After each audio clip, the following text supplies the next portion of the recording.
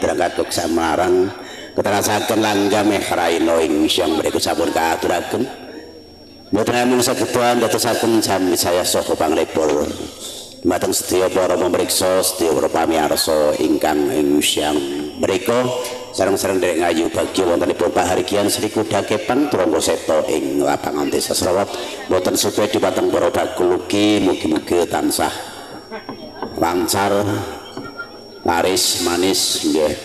Lan barokah. Hmm, amin. Teksi sarangan kalian paguyuban Sri Kuda Kepang Turangga Seta lan ugi kairingan utawi seneng kuyung kalian.